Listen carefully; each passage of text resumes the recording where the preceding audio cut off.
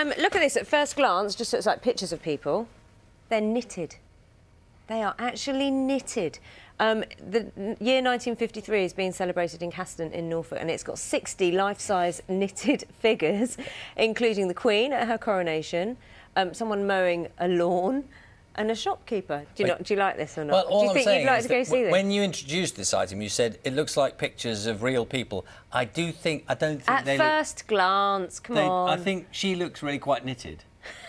If if you can look knitted. it.